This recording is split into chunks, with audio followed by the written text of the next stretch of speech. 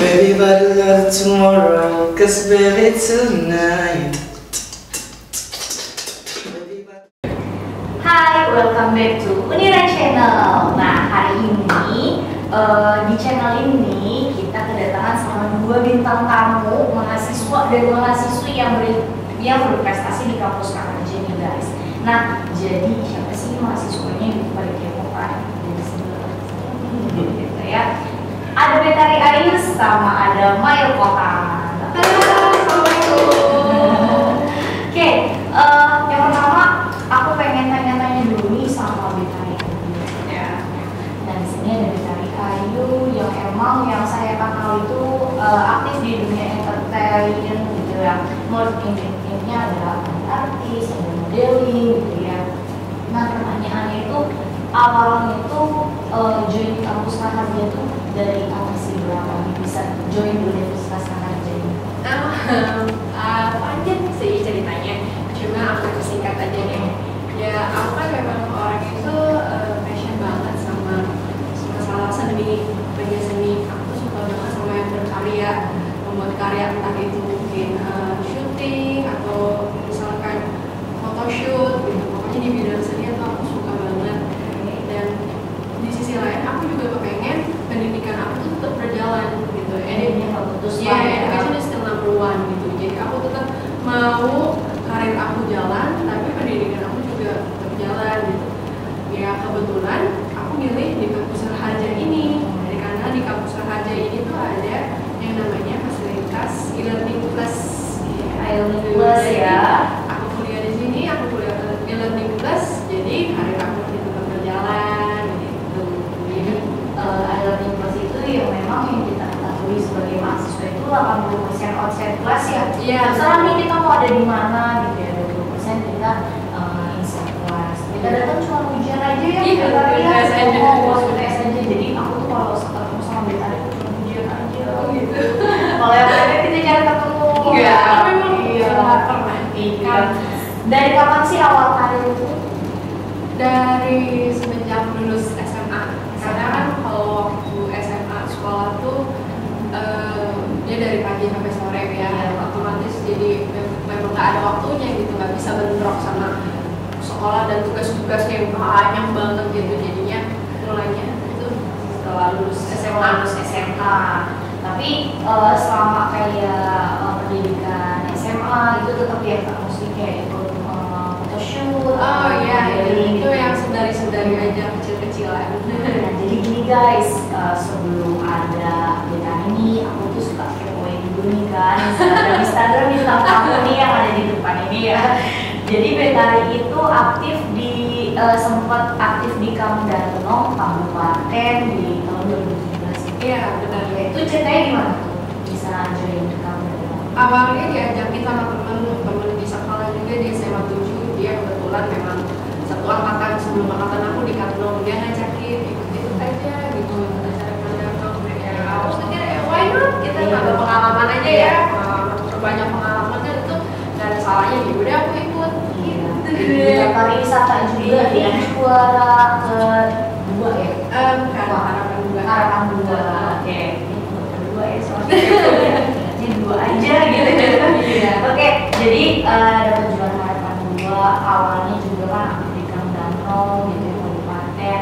Terus dari situ langsung nih aku tuh kadang suka Betari siapa sih? Betari siapa sih? Gitu. Yang katanya artis azab gitu.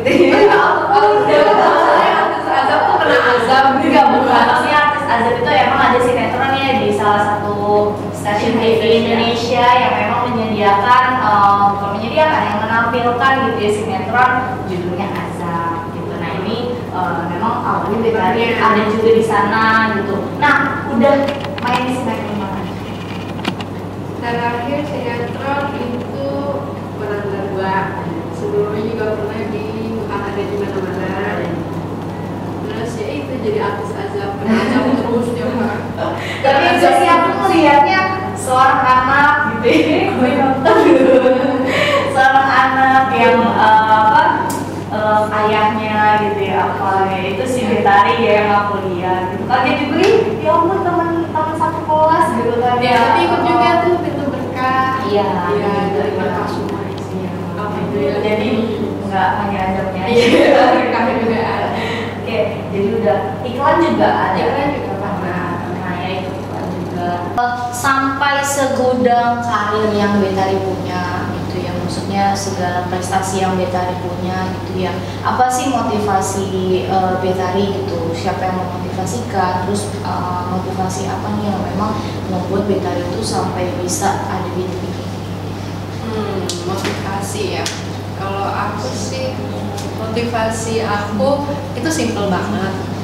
Jangan pernah merasa puas diri ya, kita. sama hasil kerja kita. Iya, benar. kita. Iya, dan support dari orang tua itu penting. Dua orang tua itu ya. penting. Ya, jadi memang kita harus eh, ini apa dekat dengan orang tua, Iya. minta doanya, minta restunya gitu untuk eh, Karena dari doa orang tua itu jalan tuh ada aja gitu. restunya ya dari restu orang tua kita insya Allah jalan tol. Amin.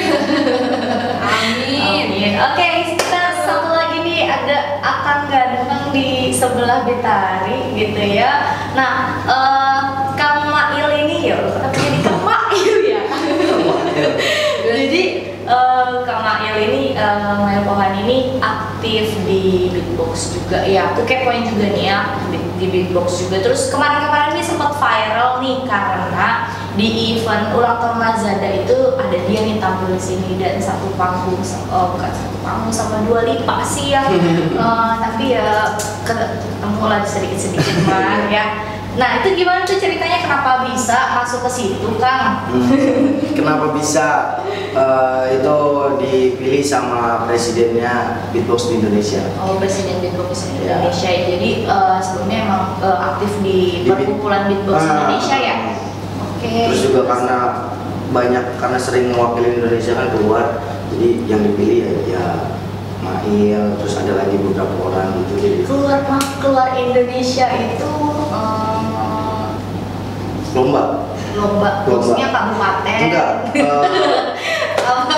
maksudnya luar negeri atau ya kalau negeri. Luar negeri sempat ke mana itu? Waktu kemarin sih Malai, Malai. Malaysia. Malai, Malai banget nasib kamu. Banget. Malaysia ya sampai ke Malaysia. Oh berarti eh, apa beatbox Indonesia ini benar-benar ini juga aktif ya. Aktif banget. Aktif banget dan berkarya juga lah di luar sana. Di Malaysia ada juara atau enggak? Di Malaysia itu aku masuk di 16 besarnya. 16 besar. 16 besar. Itu saingannya banyak juga banget dari banget negara-negara dari. Filipina, Vietnam, Singapura, pokoknya se Asia itu sih itu Se-Asia. cabangnya se Asia. Asia. Oke. Nah, jadi eh, awalnya itu kenapa bisa di eh, masuk ke eh, acara Lazada itu memang ada presiden dari Beatbox Indonesia ini yang merekrut eh, seorang Mail Pohan bisa join di situ. Perasaannya gimana ada di panggung? ya? Perasaannya Maksudnya- sebelum di panggung aja udah deg-degan banget. Iya. Sebelum di panggung di backstage aja pas 5 menit lagi ya udah langsung snapgramin terus penonton udah wah udah teriak-teriakan aduh Kan bingung. nyebut sama main kan? Ya, kan kenal nggak- ya. iya, walaupun nggak nyebut kan aduh udah Iya, tetap merinding ya. segala macam bingung sih Ketemu sama Dua Lipa nggak? ketemu sih ketemu cuman dia emang pas eh, kan gladi resik turun Iya. panggung eh, area tuh di clear terus jadi kita cuman keluar backstage cuman ngeliat TV gitu Oh. cuman ya Aslinya cantik. yang di make up itu cantik tanpa make up dia cantik banget Kayak gue ya.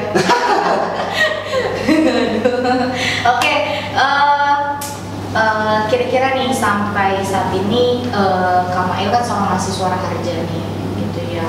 Ambil jurusannya ya multimedia division broadcasting. Tadi juga sama multimedia division broadcasting juga. Jadi emang emang bergerak mau maksudnya kayak ah pengen uh, memperdalam ilmu broadcast Hmm. mungkin atau editing atau desain gitu emang. Di situ jalannya ya. Iya.